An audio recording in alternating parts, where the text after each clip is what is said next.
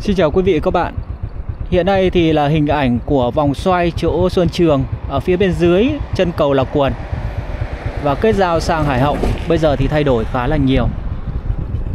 Đó, quý vị có thể thấy được rằng là ở phía bên tay trái của gió biển, Thì người ta sẽ làm một cái ờ, phần đường rất rộng ở đó Và vòng xoay sẽ đi thẳng về hướng thị trấn Xuân Trường nếu mà tính từ cái mép đường gió biển đang đi đây đến uh, những cái ngôi nhà phía đằng kia nó phải rộng đến uh, hơn 50 mét thưa quý vị. Không biết là sau này sẽ thiết kế ờ, như thế nào nhưng mà hiện tại thì thấy nó khá là lớn. Nghe nói là một số cái thông tin ở cái khu vực giải tỏa ở chỗ này có rất là nhiều khúc mắc về vấn đề là đền bù có thể là chưa thỏa đáng đợt trước thì có mấy ngôi nhà à, còn ở đó mà chưa giải tỏa được, nhưng mà hôm nay giáo biển thấy được là đã giải tỏa rồi mọi người ơi. Thậm chí có một số ngôi nhà rất là mới. Khoảng có một cây xanh hôm qua thì bị bão bị bão nó dập xuống mọi người. Đây là cái khu tái định cư của Tớ biển nghĩ rằng là của những cái hộ dân ở chỗ này đây. Đấy, bây giờ thì xe lưu đây. Đang uh, tiến hành giải tỏa.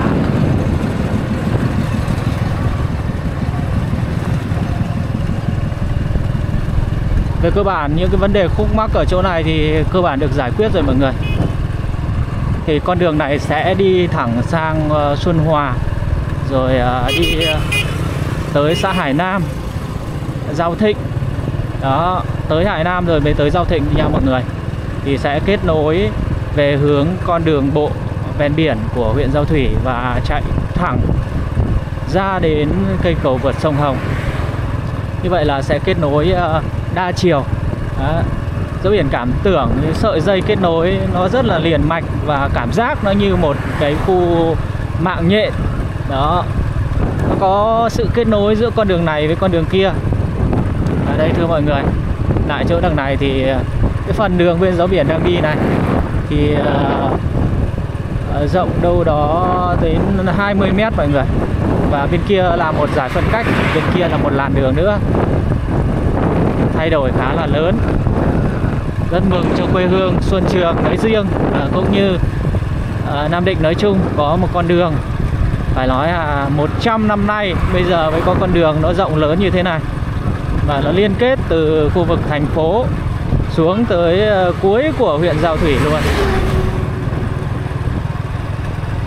không chỉ những con đường ờ, chạy dọc từ thành phố xuống, mà hiện tại thì có con đường bộ ven biển, rồi đường cao tốc Ninh Bình Hải Phòng thì cũng chạy xuyên ngang qua tỉnh Nam Định và sang Thái Bình. Và ở đây có một cái đống đá cao gió biển ước tính nó phải cao đến mười mấy mét mọi người. Đó mọi người thấy không? Để phục vụ cho công trường đó. Rồi và đây là cái hướng vào xã Xuân Hòa.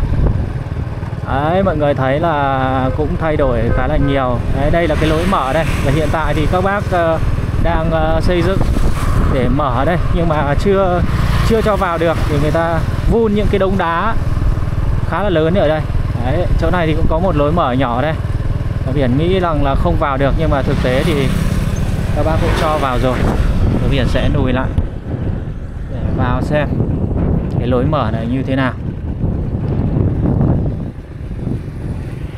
Nay là đầu tháng 9 năm 2024 thì những thay đổi của cơ sở hạ tầng của tỉnh Nam Định uh, thay đổi từng ngày và các con đường cũng đang được uh, thiết kế ờ, thay đổi theo sự phát triển của tỉnh nhà mọi người thấy là ở đằng kia là một cái khu bãi rác. Và ngày hôm nay gió biển đang đi trên một cái lối mở, mọi người thấy đó. Nó rộng lớn vô cùng. Và chỗ này thì phải rộng đến 30 mét đi mọi người. Gió biển cảm cảm giác nó phải ít nhất phải 26 mét. 26 đến 30 mét cho một cái lối mở thật sự là tuyệt vời.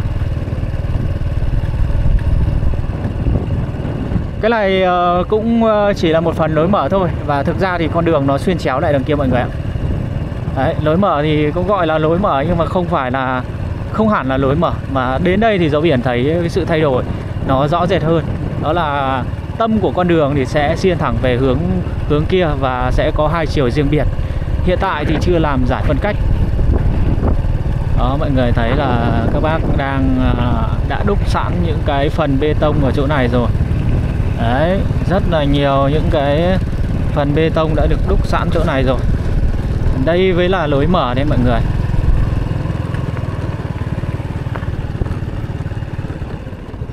Dấu hiển thiết nghĩ ở chỗ này sau này sẽ là một cái ờ, hệ thống đèn xanh đèn đỏ khá là lớn đấy mọi người.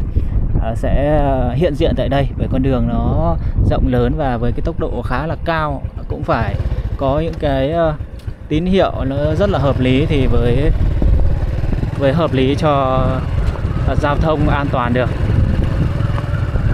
À, giờ thì gió biển đang đi một cái lối mở và cái con đường này thì đi thẳng vào xã Xuân Hòa.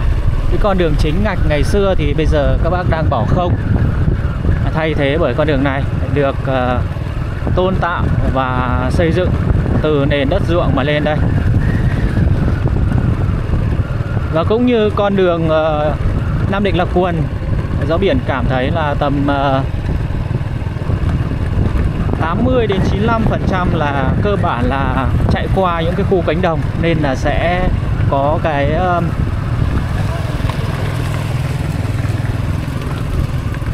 cái việc thi công sẽ là là nhanh hơn đấy mọi người. Cái việc giải tỏa như vừa xong mọi người có thể thấy được rằng là rất ngắn thôi nhưng mà khúc mắc từ rất lâu rồi và bây giờ đã giải quyết rồi.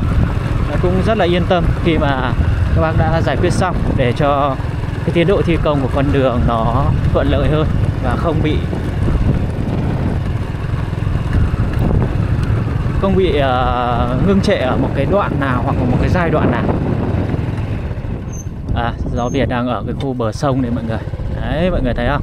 Cái con đường chỗ này nó chạy chéo về đằng kia và đằng kia đó chính là cái công ty cổ phần may sông Hồng đang có những cây cẩu rất là cao. Ờ, cần cầu rất là cao để phục vụ công trường và đang thi công rất là nhanh. Một trong những cái doanh nghiệp lớn về may mặc tại ờ, Xuân Trường được mở rộng và rất nhiều huyện đã có những cái công trình công ờ, xưởng rất là lớn tại các huyện rồi. À, đây là cái con đường cũ đây mọi người. Mặt đường thì cũng khá là đẹp. Đó mọi người thấy không?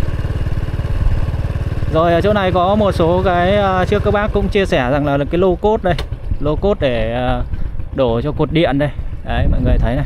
Khi mà nhấc những cái phần à, đúc bê tông này nó lột cả cái mặt đường này. Lột cả cái mặt đường. Chứng tỏ là bê tông nó cũng khá là tốt phải không mọi người? Vừa rồi trận bão Yagi thì uh, gió biển cũng đọc được một số cái thông tin là có một cái uh, cái cột điện Ờ, lắp ghép đấy.